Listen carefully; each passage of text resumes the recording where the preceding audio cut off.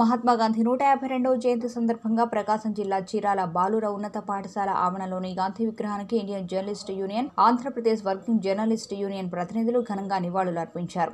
కేంద్ర రాష్ట్ర ప్రభుత్వాలు జర్నలిస్టులపై అనుసరిస్తున్న వైఖరిని నిరసిస్తూ పన్నెండు అంశాలతో కూడిన వినతి పత్రాన్ని గాంధీ విగ్రహానికి అందజేశారు. కరోనా ఫ్రంట్ లైన్ వారియర్స్గా జర్నలిస్టులను గుర్తించినప్పటికీ ఎలాంటి ప్రతిఫలం అందలేదని ఐజేయు నాయకులు ఎన్ శేషసాయి అన్నారు. జర్నలిస్టులకు ఇచ్చే అక్రిడేషన్లలో కొత్తవి పెట్టారని అన్నారు. ఈ రోజున జర్నలిస్టులు దేశవ్యాప్తంగా ఎదుర్కొంటున్నటువంటి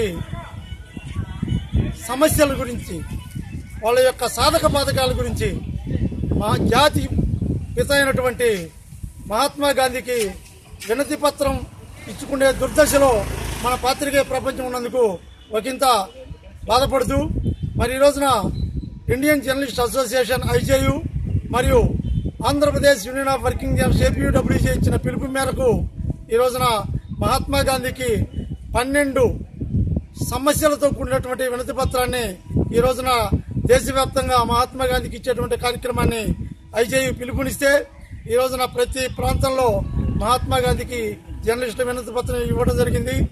ఇందులో భాగంగా తక్షణమే దేశవ్యాప్తంగా జర్నలిస్టులు ఎదుర్కొంటున్న ప్రతి సమస్యను కేంద్ర రాష్ట్ర ప్రభుత్వాలు నిర్లక్ష్య వైఖరిని విడనాడి మరి వాటిని వెంటనే అమలుపరచాలని చెప్పి కోరుకుంటా ఉన్నాం. మరి కరోనా ఫ్రంట్ వారియర్స్గా గుర్తించినప్పటికీ ఆ దశలో ఒక్క అడుగు కూడా ముందుమైనటువంటి కేంద్ర రాష్ట్ర ప్రభుత్వాల నిర్లక్ష్యాన్ని ఖండిస్తా ఉన్నాం. అదే దశలో ప్రకటించినటువంటి కరోనా మృతుల కుటుంబానికి ఐదు లక్షల రూపాయలు ఇచ్చే విషయంలో రాష్ట్ర ప్రభుత్వ అలసత్వాన్ని కూడా మేము ఈ సందర్భంగా ప్రశ్నిస్తా ఉన్నాం.